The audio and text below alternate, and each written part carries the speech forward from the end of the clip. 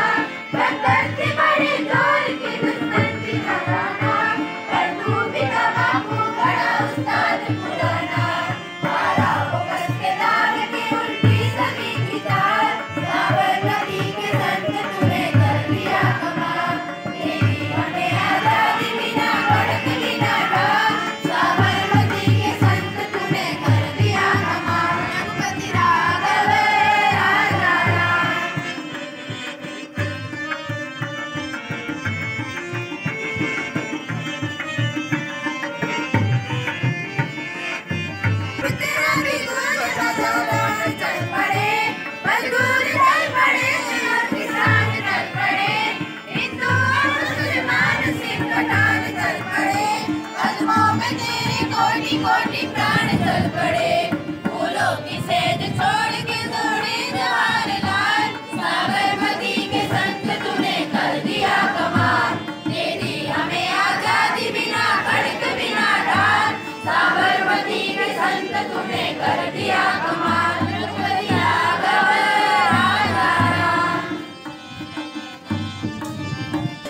लगन मिलो कोटी।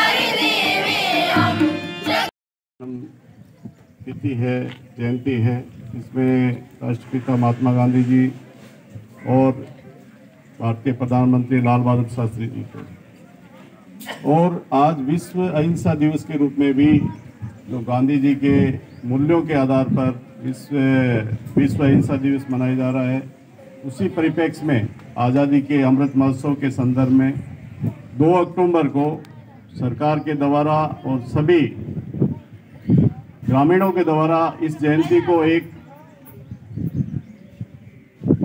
यादगार बनाने के लिए, ऐतिहासिक बनाने के लिए प्रत्येक राज्य स्तर पर, जिला स्तर पर, ब्लॉक स्तर पर और प्रत्येक ग्राम स्तर पर जो मनाने का कार्यक्रम रखा गया है, जो मूल्य गांधी जी और लाल बहादुर शास्त्री जी ने देश को दिए हैं, देश की आज़ादी के संदर्भ में हो या देश के विकास के संदर्भ में हो, वो आज भी प्रासंगिक है।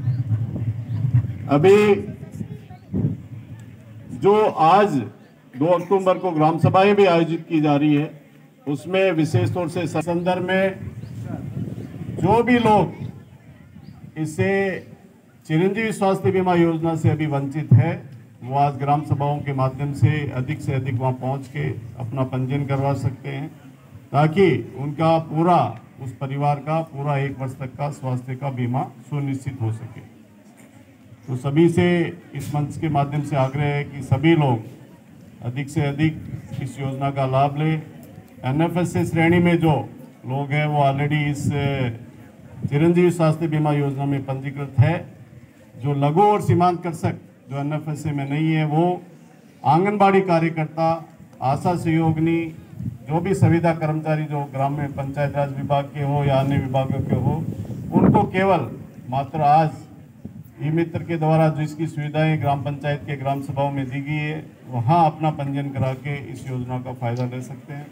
इसके अलावा जो वंचित लोग हैं, वो साढ़े आठ सौ रुपये का प्रीमियम दे के, जिसमें साढ़े आठ सौ रुपये सरकार द्वारा वहन किया जा रहा है, उसका भी फ़ायदा लिया जा सकता है।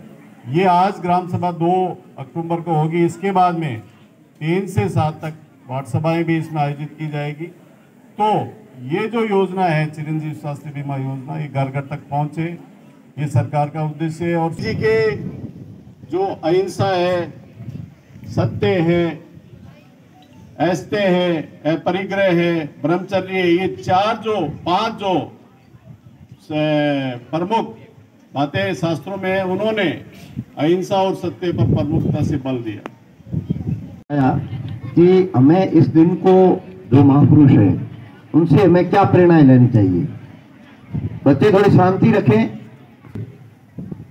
कुछ ऐसी बातें होती है जो हमें अनुकरणीय, उसका अनुसरण करना चाहिए और जीवन में उनको आत्मसात करना चाहिए।